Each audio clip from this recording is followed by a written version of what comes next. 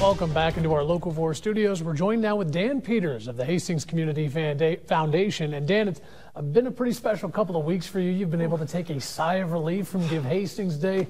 A lot of records falling. How are you feeling right now? Yeah, we, we feel great. We went into uh, Give Day this year uh, knowing that uh, we had a couple records in the books already. Yeah. Most nonprofits, 108 and the largest uh, single uh, uh, bonus prize we've ever had, a $10,000 endowment prize from the Hastings Community Foundation. Of course, we didn't know if we'd hit the big record. Would, would we have record giving?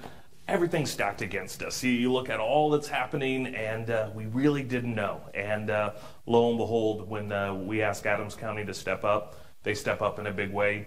$950,000 wow. in change raised uh, for 108 organizations. Absolutely fantastic. Safe to say the goal next year is going to be over a mill. You, you know, uh, we can't hide it. Uh, everyone knows what the goal is. We can't yeah. even pretend that we're not going for that million. And uh, we're uh, 11, uh, just over 11 months away already thinking, how are we going to get to that million dollars? I love Absolutely. It. I love it. And you guys had a fun event during the actual Give Hastings Day itself. You had kind of a community art project. Tell yeah, us about that. We wanted to do something special to celebrate 10 years of Give Hastings Day that really engaged with the community, allowed the community to be part of Give Day beyond just uh, writing a check.